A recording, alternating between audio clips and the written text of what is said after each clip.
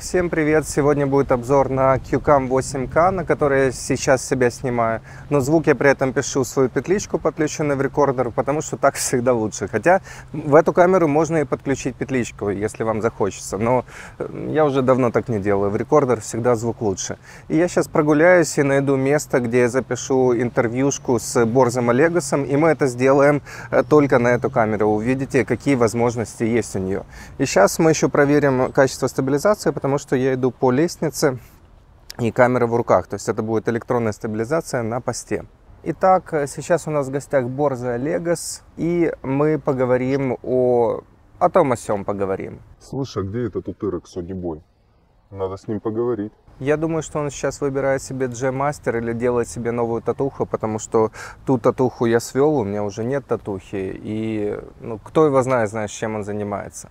Вот скажи коротко секрет успеха. Как преуспеть фотографу-видеографу сегодня? Что ему для этого нужно? Чтобы преуспеть, нужно купить Canon R5 и RF оптику. Другого рецепта просто нет. Вы берете две R5, ну можно вторую R6 такое дело, и бомбите с двух камер, и все. Вот когда у вас есть крутая техника, все, вопросов нет, вы уже преуспеваете, и все супер круто. Ну что ж, это было супер короткое интервью с Борзом Олегосом, и перейдем дальше к нашему обзору. Ну все, мне пора. Пора искать этого утырка. Ну что ж, давайте наконец-то поговорим о камере Kandao 8K, потому что на эту камеру я уже неоднократно в конце своих видео показывал бэкстейджи, когда идет, э, ну после обзора я показываю, как я собирал технику. Запись при этом я делал с помощью вот этой камеры и делал монтаж, потому что э, вот этот девайс очень-очень сильно требует от вас навыков монтажа, и ну, с этим нужно что-то потом делать. Итак, вы уже видели мое приветствие, увидели короткое интервью с Борзом Vegas я вам покажу набор, с которым это все было снято, потому что эта вся история очень компактная, то есть это уже, можно сказать, мобильная фотография. У меня есть э, штатив, на который вы уже должны были видеть обзор, мини-штатив АОКа, маленький, легкий, который здесь работает. И как штатив, и как селфи-палка, маленький, как раз для такой камеры и э, непосредственно сама камера. Ну, здесь у нас еще есть э, очки Борзова Легоса и микрофон на мне, микрофон, который записываю в рекорда. Кстати, очки очень зачетные, но я думаю, Борза Легос лучше про них расскажет. Четкие пацанчики должны одевать четкие очки.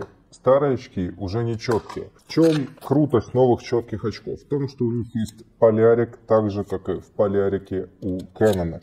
Теперь у меня полярик не только в фотоаппарате, но и в очках. Double damage. Вот. И маленькая сумка, причем можно даже еще меньше сумку для этого взять. По поводу сумок меня неоднократно спрашивают, а какую сумку выбрать. Я вам советую пойти в магазин и их всех пощупать. Какая понравится, такую берите и все. Это очень субъективно. Ну ладно, давайте поговорим о нашей камере. Вот так выглядит этот девайс. Кандау 8К состоит из двух камер. Вы видите, что здесь с одной стороны линза и с другой стороны линза. И это фишай объективы. То есть, э, когда вы снимаете видео на эту камеру, вы получаете, по сути, два отдельных видео э, с фишай-эффектом, ну, в исходнике. И потом э, в комплекте с этой камерой поставляется бесплатное ПО, которое можно скачать на сайте производителя. Вы конвертируете эти два блинчика, ну, я так условно называю, две этих картинки в одно 360 видео, и потом уже вопрос в том, а что с ним дальше делать, потому что э, вот этот девайс дает вам, ну, огромнейшие просто возможности по обработке материала и по тому, с какой стороны и как э, вы будете смотреть э, потом это видео. Понимаете, вот я пытался посмотреть обзоры на этот девайс хорошие, только некоторые англоязычные. На русском не то, что про этот, а про все камеры на 360 градусов. Ну, ну дичь просто. Ну, ну вообще не раскрывают их потенциал и не говорят о том, о чем нужно говорить. Ну, к счастью, я купил эту камеру, я уже могу поделиться с вами опытом использования. Так вот, по поводу обработки материала. Когда вы получаете это длинное, широкое 360 э, видео, у вас есть несколько вариантов, что с ним делать.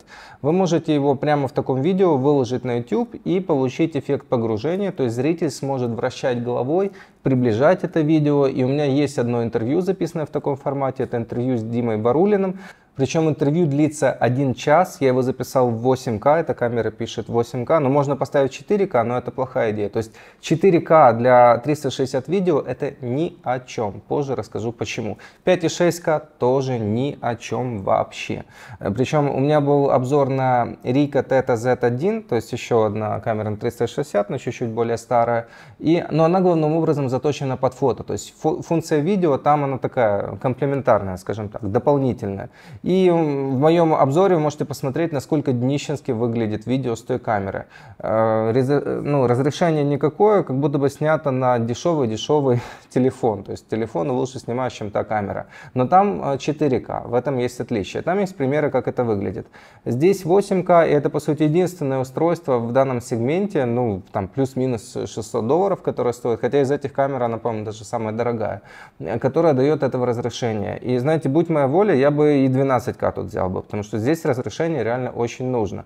Но чтобы вам объяснить, почему и как, это нужно, для этого нужно переместиться в монтажную программу.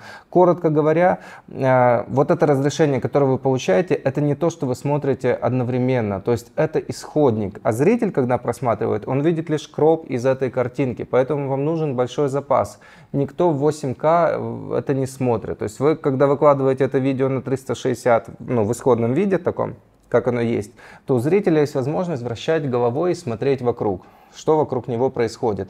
И он смотрит свое какое-то окошечко, вырезанное из вашего общего видео. И для того, чтобы это окошечко было хотя бы Full HD, вам нужно хотя бы 8К вот этого всего исходника. Смотрите, дальше нужно показывать наглядно. Смотрите, вот это идет исходник, у которого разрешение 7680 на 3840. То есть это 8К, но при этом с соотношением сторон 2 к 1. То есть не 16 на 9, а 2 к 1. Обратите внимание на вот эти полосы каше. Ну, можно от этого избавиться, если его чуть-чуть приблизить. И нужно, кстати, будет.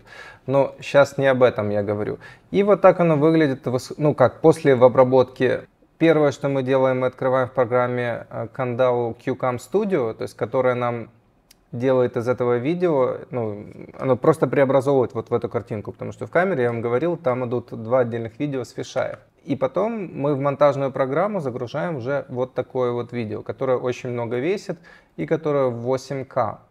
Для того, чтобы это видео ну, стало смотрибельным, то есть, конечно, можно поиграться, я играюсь и делаю в таком виде, но чтобы с ним нормально работать, вам нужно установить плагин Reframe 360. Он бывает и для премьера, для чего угодно. Бесплатный плагин, который преобразует, вот мы его сейчас включаем, и он преобразует это видео в обычное видео. Ну как обычное? Э, мы сейчас, опять же, мы можем управлять этим видео, видите, наклон, все, что я захочу, я могу сейчас с ним э, делать. Еще раз, вот так выглядит исходник. Вот здесь 8К разрешение и здесь охват 360 градусов. А вот здесь, ну, здесь по-прежнему имеем широкоугольную картинку, но это явно не 360 градусов, то есть это уже кроп с общего кадра. И этот самый угол обзора я могу им управлять. Вот, я могу сделать ближе, дальше, то есть у меня уже есть 3D видео. И теперь э, я могу выпр вып выпрямить фишай эффект, потому что изначально это видео было э, снято на фишай. Вот я получаю ровную картинку.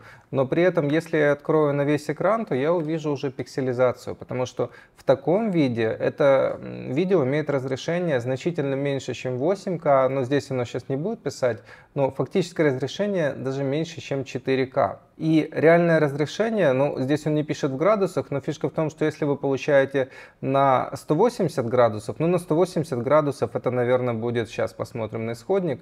Вот, я возьму эту картинку, но это очень грубо я вам сейчас показываю. Вот так вот где-то ее приближу, вот это будет 4К разрешение. Где-то половина, ну, где-то вот так, половина этого охвата. Если я хочу кадрировать себя, угол зрения в 90 градусов, что примерно соответствует объективу 24 миллиметра, то есть это широкоугольник. 24 миллиметра, ну, речь сейчас не идет о 50 миллиметрах, ни в коем случае ни о каком портретнике. Э, так вот, 90 градусов или 24 миллиметра это будет Full HD, если ваш исходник 8К. И получается, что вы не можете взять полноценно крупный план. Ну, у вас вообще-то мы тут снимаем фишай на фишай, а потом мы с него кропаем картинку, что здесь вообще происходит. И повторюсь, но для того, чтобы кропать, нам нужен большой запас по разрешению. И 8К это просто минимум для того, чтобы ваше видео потом нормально выглядело. Ну, вот, вот такая вот история, потому что если у вас 4К видео, то это будет выглядеть очень мыльно и печально, поэтому GoPro, э, ну, это так, из серии поиграться, попробовать, как это вообще происходит, плюс там э, из коробки уже есть э, ну, пылевлагозащита, это экшн-камера, все такое, но по большому счету GoPro, ну, ни о чем в этом плане, GoPro Max. Insta360, я так немного по конкурентам пройдусь, потому что вот это лучший вариант для видео. Insta360, они многие наслышаны на нашем рынке. Дело в том, что у них есть представительство в Украине и России, насколько я знаю. Ну, это бренд просто с хорошей рекламной кампанией, и о них все знают. Вот, вот вся история. Но это не значит, что это штуковина, ну, в плане записи видео для энтузиастов, эм, ну, как бы имеет смысл на фоне вот этой камеры. Я говорю довольно категорично, но я просто ощутил ощутил преимущество большего разрешения. То есть здесь вам реально нужно 8К. Вот здесь и сейчас, сегодня, в 2021 году вам нужно 8К. Но почему? Потому что это монтажный э, формат видео. Вам не нужно это все рен... ну, как рендерить 8К. Это нужно, если вы хотите выложить 360 видео. Потому что тут я перехожу к следующему формату. Так как вы видели интервью с Борцем Олегасом, снято 8К, но рендер в 4К и с монтажом. Потому что в чем разница? Э, один вариант вы даете зрителю самостоятельно вращать головой, смотреть, что тут происходит. Второй вариант, вы сами выбираете ракурс, с которого камера будет показывать вам изображение, и делаете обычное видео. Ну, можете сделать его в Full HD, в 4К, как захотите, но исходник у вас при этом э, будет, но с этой камеры в 8К. И как раз этот исходник дает вам гибкость и возможность выбирать эти самые ракурсы, потому что, повторюсь, каждый ракурс это кроп из общего изображения, которое вы получаете. И тут по части монтажа у вас есть э, несколько вариантов. Вы можете сделать это просто и статично. То есть можно э, поставить эту камеру на штатив, вы получаете изображение на 360 градусов, а потом вы можете сделать себе, так, ну, я так назову, виртуальные камеры. То есть э, продублировать дорожки в видеоредакторе и сделать на каждую какой-то ракурс. Справа, влево, общак. И у вас из одной камеры уже сразу же получится, как будто бы это снимали несколько операторов. Хотя вы пришли налегке вот с этим. Итак, покажу вам два типа монтажа. То есть, ну, один вариант это выложить все как есть. Вот, вот мы видим исходник, который, ну, после обработки в Kandao QCam, то есть это такой почти исходник. И вот так вы можете это выложить на YouTube, и вы получите, ну, там еще нужно маленький нюанс сделать, и вы получите видео, где можно крутить головой вправо-влево, не монтируя. Э, варианты с монтажом, смотрите, вот у нас видео, вот оно в исходнике тоже, с чего начинался этот ролик я включаю то, что я тут сделал, и здесь мы видим анимацию движения камеры. То есть пока я иду, камера меняет ракурсы туда-сюда. Я начну с простого варианта. И здесь каждый ракурс, он не анимирован, он просто переключается как с одной камеры на другую. Вот, видите, мы сидим в круглом мире, мы сидим, э, дальше мы ровно сидим. Для того, чтобы получить эти ракурсы, я беру, вот еще раз покажу вам плагин. Вот я выключаю этот плагин, я получаю всю ту же картинку, где мы все видим. Чтобы получить этот ракурс, я выставляю поле зрения. Вот мы вместе сидим. Я двигаю камеру вправо-влево, вверх-вниз и выставляю именно тот э, ракурс, который я хочу показать. И вот здесь, там, где я вам показывал Борзова, я даже в маленьком окне сейчас вижу, что идет сильная пикселизация, потому что я сделал приближение в два раза, и Борзый здесь уже такой слегка размытый. Потом э, делаю другой ракурс, допустим, вот мы здесь сидим вдвоем.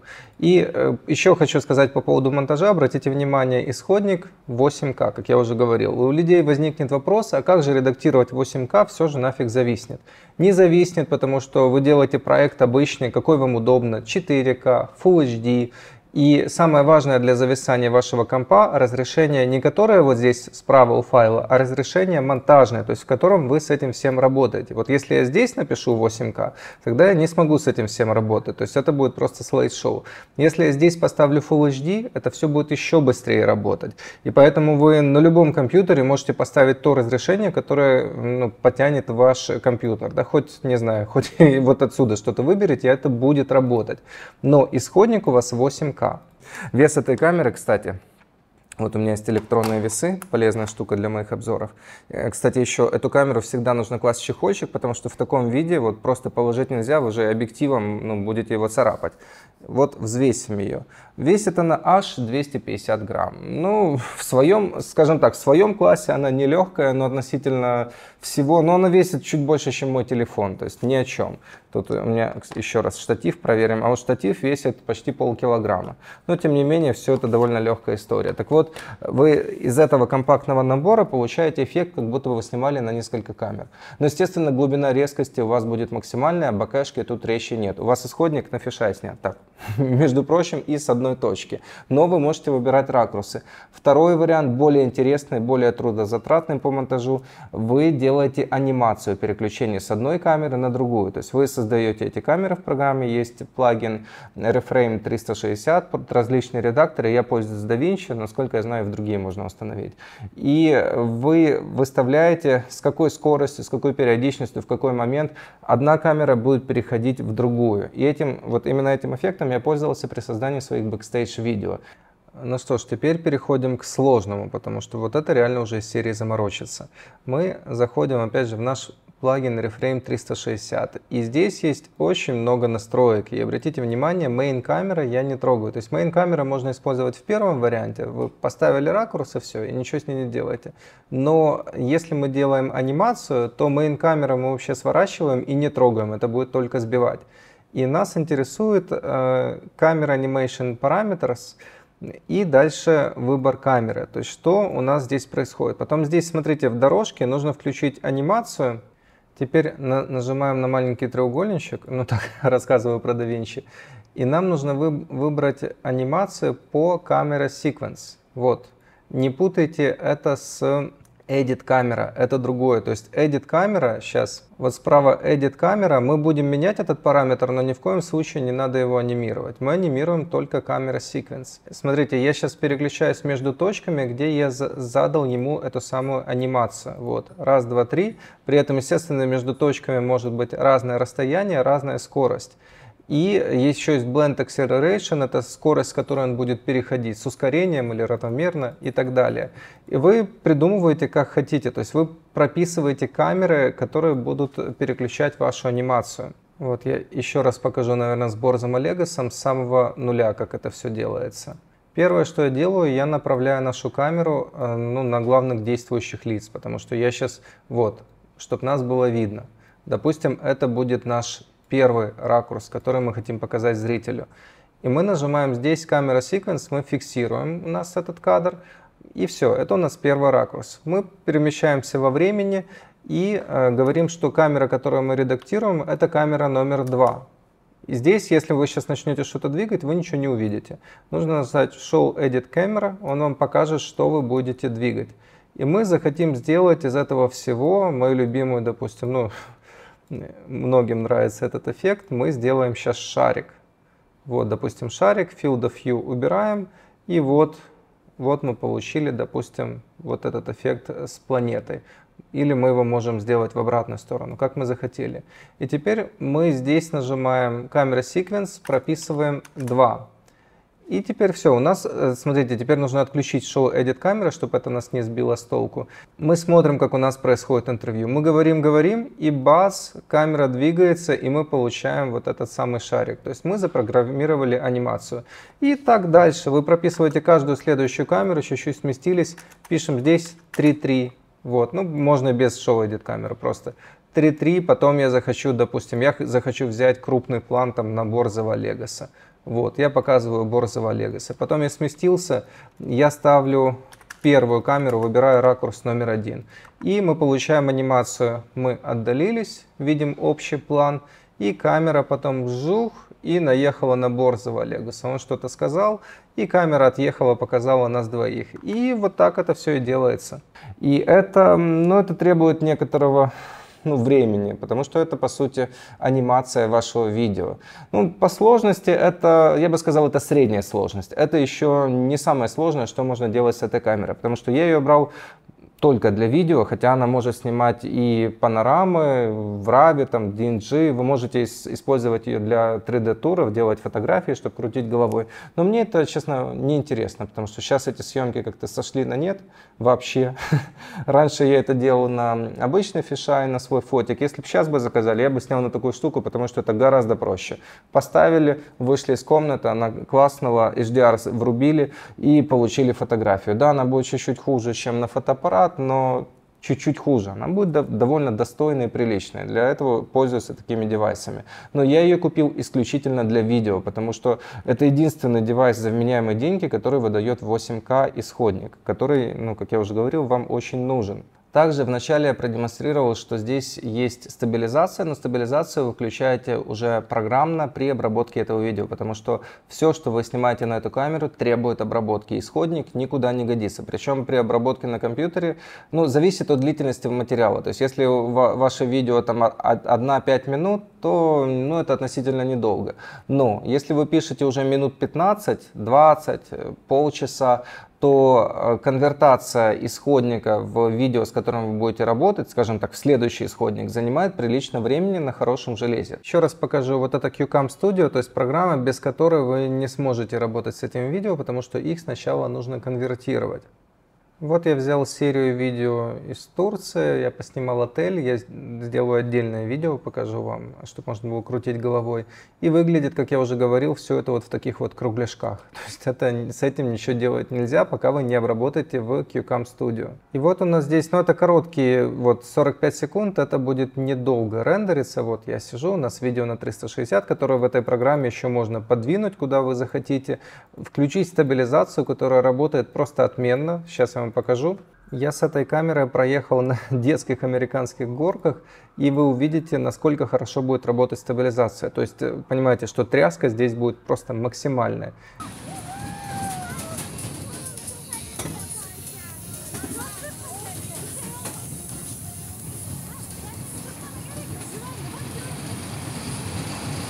Еще можно чуть-чуть, вот, вот этот дайв, оно увеличивает угол зрения, но здесь, по-моему, с каким-то косяком. Ну, в настройках здесь на самом деле легко разобраться. Defringe полезная штука, потому что часто хроматика здесь лезет, и эта программа умеет это конвертировать.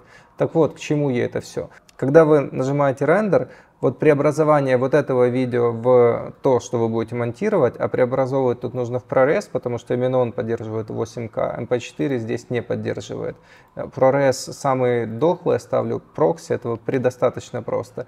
Так вот, рендер у меня занимает, если видео, допустим, 3 минуты, то рендериться будет 6 минут. Если полчаса, то час. То есть в два раза дольше реального времени. И это, ну, на длинных видео это очень ощутимо. А потом э, вы уже с, с этим видео уже работаете дальше. И тут, как я уже говорил, вы можете настрогать себе несколько камер из одного видео. Это, в принципе, будет быстро и тупить компьютер не будет. И дальше, если вы хотите сделать просто видео, выложить его, чтобы человек крутил вокруг головой, наверное, это лучше в редакторе покажу, то вам придется его таки отрендерить в 8К, и это будет долго. То есть сначала вы его конвертировали, то, что я говорил в программе Кандау, а потом вы его закинули в редактор. Зачем закидывать в редактор? Ну, во-первых, я накладываю звук с рекордера, хотя можно и сюда микрофон подключить, но с рекордера звук лучше. Во-первых, звук. Во-вторых, сделать хоть минимальный монтаж. То есть вы вот эту колбасу можете там отрезать какие-то моменты, которые вам не нужны. Ну, там, начало, конец, может быть, в середине. Или поменять местами какие Ну, вот примитивный такой монтаж, но все равно, если вы пишете длинное видео, а я писал длинное видео, вам он нужен. И вы это будете делать э, в 8К. Ну, опять же, смотрите, проект делаем в 4К, редактируем, что нам нужно, а потом переводим этот проект в 8К и выводим его в 8К. То есть, если вы хотите сделать 360 видео качественное, как я это выложил, э, ну, вот я интервью выложил, то вам его нужно будет отрендерить в 8 8К, и это будет долго. Это будет конкретно долго, потому что у меня часовое видео заняло, рендер занял 11,5 часов, то есть я ставил на ночь. Это конкретно очень долго.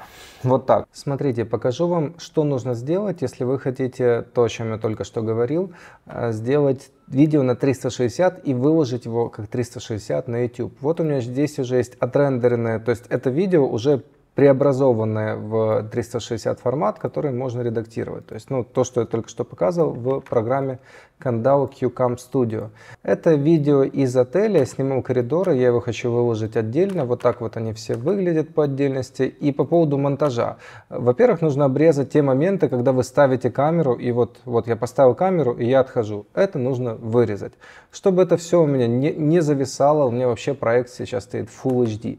При этом, смотрите, очень важно, вот эти поля сверху и снизу, э, их не должно быть. То есть, э, что бы вы с этим видео не делали, ну как, если вы его будете преобразовывать в формат, э, ну, как то, что я сейчас показывал только что, формат, когда вы будете управлять камерой, то проблема полей, что они вам дадут дырку по центру, ну, при некоторых ракурсах.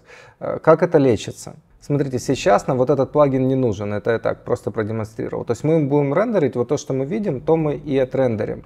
Но нам нужно создать проект, э, у которого соотношение сторон будет не 16 на 9, а 2 к 1. Сейчас временно я делаю это в э, Full HD условном, то есть умножаем на 2, получаем 2160. Вот, и мы получаем, э, мы избавляемся от этих полей, то есть у нас видео полностью заполняет наш кадр.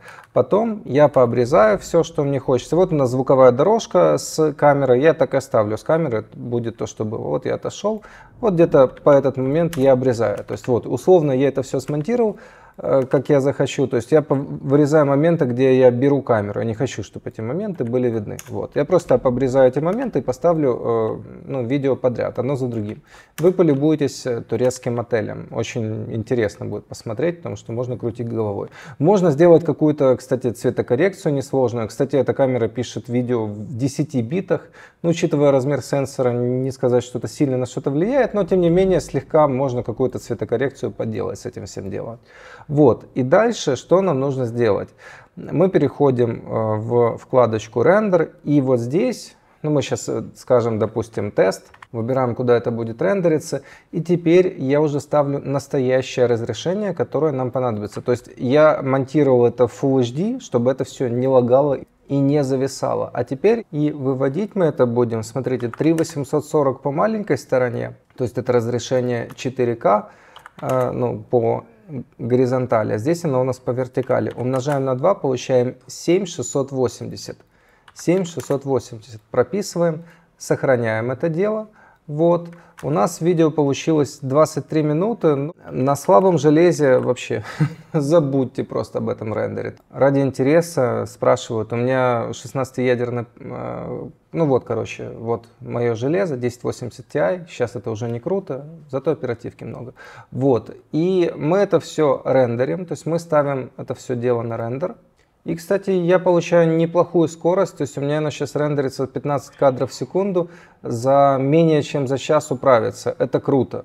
То есть э, для 8К это реально здорово. Потом, когда это мы все отрендерим, нюанс в том, что и это еще не все. Для того, чтобы вам загрузить панорамное видео на YouTube, то нужно, чтобы YouTube его распознал. То есть вы, когда это все отрендерите, вам нужно еще прогнать это видео через такой Special э, Media Metadata Injector. Нужно скачать такую маленькую программку. Программка на самом деле очень простенькая, но она обязательно вам нужна. То есть вы в этой программе выбираете это видео. Кстати, можно взять и исходное видео, то есть вам никто не запрещает, ну как исходное, после Kandao QCam, вот одно из этих видео, не прогонять его там через редактор, ну будет как попало. И вы нажимаете Inject Metadata, после чего программа создает для вас отдельный файл, она для вас его перезаписывает, делает пометку injected, и вот этот файл вы можете загрузить на YouTube, и он поймет, что этот файл можно крутить на 360, но только после того, как вы добавите метадату через эту программу. Как видите, тут э, ну, не все так просто. Понимаете, смотря какие цели ставят перед этой камерой, потому что я думаю, что немногие люди пишут интервьюшки вот на это. В основном их покупают как экшен камеры, чтобы поснять какие-то фрагменты на отдыхе, путешествиях, какие-то короткие моменты. Если у вас видео короткие, то проблем с этим не будет. Но я уже говорю, если счет идет на десятки минут, то вы ощутите, насколько у вас слабый компьютер. Но даже хороший компьютер это долго обрабатывает, если это делать в 8К. Эффект просто потрясающий. Я вам скажу, что в какой-то мере это будущее, которое уже наступило, потому что этот девайс, эм, можно сказать, он он заменяет оператора, потому что вы после съемки можете выбрать угол обзора. Да, точка у вас одна и та же, но угол, направление, ну, у вас есть огромнейшая гибкость по управлению тем, что находится в кадре. И эта штука крайне удобна для съемки бэкстейджа. Ну, допустим, э, я показывал, как я работаю, допустим, выставляя свет, но вы можете что угодно бэкстейджить на эту камеру, бег, ходить куда угодно, потому что в чем проблема с обычными камерами при съемке бэкстейджа? Вы ставите в каком-то направлении, но вы же не будете настраивать что-то там, снимать только вот только в этой стороне. Очень часто вы отойдете в другую сторону комнаты, и все, камера вас уже не заснимет, даже если там широкий угол. Эта камера снимает все, что находится вокруг нее. Ну, вот от нее нельзя укрыться. Все, что, ну, разве что, если зайти за стену какую-то. И поэтому э, вы поставили ее, грубо говоря, ну, в центре комнаты, где-то, ну, не в углу, в углу это глупо просто, где-либо поставили, а потом выбираете, в каком направлении вы хотите посмотреть уже при постобработке. И это абсолютно уникальная возможность. Это круто. А потом еще можете зазумить. И для того, чтобы э, выбрать ракурс и еще и чуть-чуть приблизить, вам нужен хороший запас по разрешению, о чем я уже говорил. То есть я бы хотел бы еще больше, чем 8К. Ну, пока что, скажем спасибо, что нам хотя бы 8К здесь дали. Просто когда я выложил свои первые видео, снятые на Ricoh Theta Z1, это, ну, после этой камеры у меня возникло желание вот получить этот самый 360 видео, то мне люди начали писать, а кто тебя снимал, а кто оператор, типа, кто следил за камерой, а никто. Это снималось на аналогичную камеру, ну, чуть-чуть более э, древнюю. Давайте посмотрим, что она из себя представляет и как она работает. Смотрите, кнопочек здесь немного, но здесь есть большой сенсорный экран. Включается она, видите, не сразу, занимает это несколько секунд. У этой камеры есть э, слот для э, карт памяти, что хорошо. Не все камеры такого класса имеют э, такие слоты. То есть я вставил карту на 128 гигабайт, которой хватает ну, примерно на полтора часа 8К видео, вот так. Ну, то есть, по сути, насколько хватает батареи, настолько хватает этой карты памяти. То есть, батареи здесь хватает на час 15, я уже проверял. При этом э, батарея здесь не сменная, к сожалению, это минус. Но вы можете питать ее от пауэрбанка по USB Type-C. Или же можно подключить к сети и тоже иметь постоянное питание. Или к компьютеру, потому что еще одно назначение этой камеры, можно вести трансляции с ее помощью. Я уже вел стрим специально такой, и это реально крутая возможность менять ракурсы во время стрима. То есть отдельное ПО есть, тоже скачивается с сайта производителя. Вы ставите ее где-либо, и вы во время стрима выбираете, куда она будет смотреть и с каким, э, ну, с каким ракурсом. Ну, в моем стриме можете посмотреть. И это удобно для конференции. Допустим, если вы ведете какой-то, ну, допустим, люди собрались за столом, то вы поставили эту камеру посередине. Кстати, есть еще Enterprise Edition, там какие-то навороты для этих стримов. Ну, и на эту тоже можно. Поставили по центру стола, и управляете, какого человека вы будете показывать в кадре, просто поворачиваете камеру. Но без физического поворота, а просто за счет того, что она смотрит на 360 градусов. То есть еще на направление это стримы. И вы подключаете по USB Type-C, и она и передает сигнал, и питается от него. Но в целом я считаю, что это, ну, это любительское решение, потому что такая работа, она убивает батарею, а батарея не сменная. Ну, как говорится, что маемо, то маемо. Давайте пойдем дальше. Смотрите, 8К 30 FPS и о, круто, здесь 10 бит. Это еще один прикол, который рекламирует производитель. Но я на это смотрю больше как на маркетинговую фишку, потому что в таких девайсах с такими маленькими матрицами, ну, ну хорошо, 10 бит, ну ладно. Но, кстати, матрица здесь э, сколько там, 1,7 дюйма или 1 поделить на 1,7? Одна, одна седьмая дюйма на 20 мегапикселей. И это круто, потому что в своем сегменте здесь самая большая матрица. То есть у GoPro только 1 дюйм, а здесь 1, 1,7. В общем, матрица тоже большая. И надо сказать, что даже в помещениях она сносно снимает. Ну, понятно, не так, как кроп или полный кадр. Э, ну, кстати, разница между кропом и полным кадром на видео, она, я ее даже не вижу в основном. Ну, не об этом речь. Это, конечно, снимает слабее, но все равно довольно прилично. Экран сенсорный, очень понятный. Смотрите, ну, как в всех таких девайсах, вправо, влево, вверх, вниз, как вы сделаете, туда и зайдете. И вот, э, смотрите, я смахнул влево и получил видео, которое вы видели в начале. Они выглядят как несколько шариков. То есть вот эти шарики, это и есть наши исходные видео. Это одна камера и э, вот другая камера. Вот можно их просмотреть здесь, ну или стереть, что, что захотите сделать. Далее, здесь у нас есть настройки. Э, спорт режим, то есть вы можете выдержкой управлять. Кстати, я одну сотую поставил, надо ставить одну пятидесятую, у нас же кино. Дальше, что у нас есть? По USB э, важный момент. Эта штука еще имеет встроенную память. Здесь 60 гигабайт встроенной памяти, что, в общем-то, очень даже неплохо. То есть вы можете даже без карточкой ну, комфортно пользоваться. И в USB вы можете управлять, то есть она будет работать в режиме передачи данных или э, для управления, ну вот, если вы ведете стрим, это USB Control Mode, а UDISC это если вы захотите переписать с нее э, то, что вы записали. Дальше. Время, ну, здесь все понятно.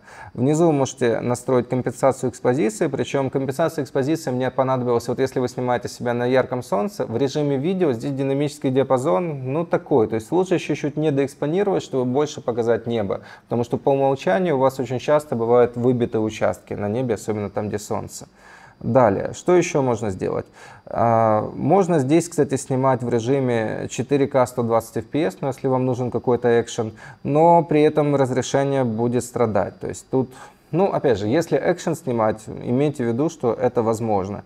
И вы можете управлять балансом белого, куча настроек, но в кельвинах нельзя. Ну, я, честно говоря, баланс белого не трогаю, потому что, и, знаете, у меня есть два режима вообще пользования балансом белого. Это или автомат, или кельвины. Кельвинов здесь нет, э, поэтому, поэтому пусть будет на авто. Вот. А дальше. Фоторежим, таймлапс и видео. И также здесь режим есть DNG8 и Super HDR. Какой-то из них, по-моему, даже в камере склеивает эти фотки. То есть, э, на самом деле, все, что нужно и все, что требуется от камеры на 360, здесь уже есть. Но здесь нет э, влагозащиты. То есть, нырять с этой штукой нельзя, но можно при желании докупить э, чехол. И, кстати, для подводной съемки это очень интересная тема будет. Можно управлять яркостью экранчика, но посередине она меня устраивает. И, в общем-то, это все. Что у нас тут еще в Q?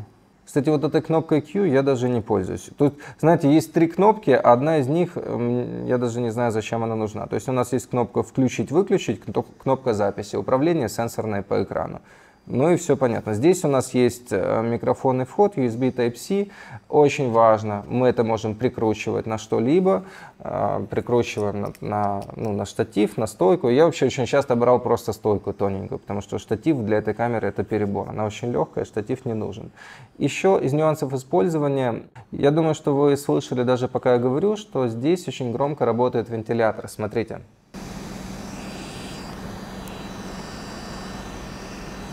Вот, я поднес микрофон, и вы должны были слышать, что э, идет ощутимый гул. И камера это сильно нагревается, вот даже просто так я ее держу, уже 5% заряда вот, ушло в никуда просто так. То есть штуковина энергозатратная, надо иметь в виду.